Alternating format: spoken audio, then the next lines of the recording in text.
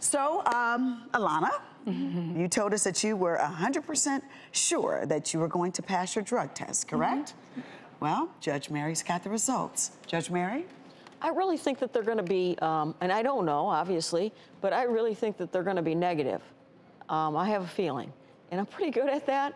Um, but my fear is it's because she uses a drug that gets out of her system too quickly. Really? Oh my God. Wow. Negative.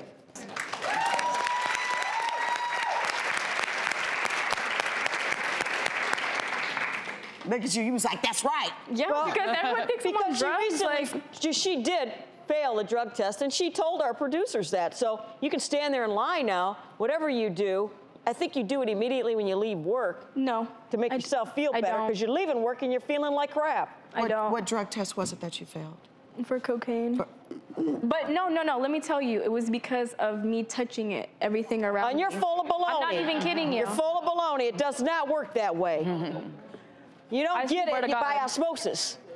Okay, you guys can think whatever. I don't have to prove anything to you guys. I just took a drug test right now, so.